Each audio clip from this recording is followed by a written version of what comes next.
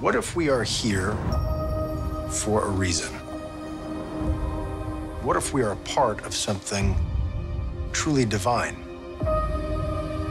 Imagine 91 billion light years traveled like that. Sweet dreams are made of this. Your father has accomplished something extraordinary, also dangerous.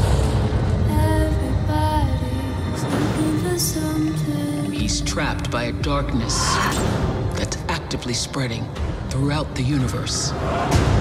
And the only one who can stop it is you. Be a warrior. I'll try.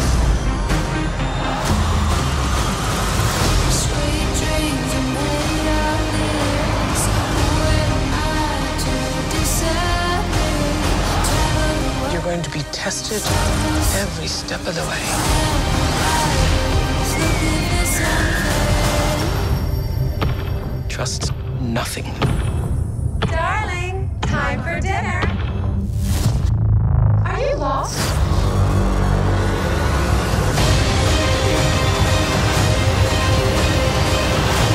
The only thing faster than light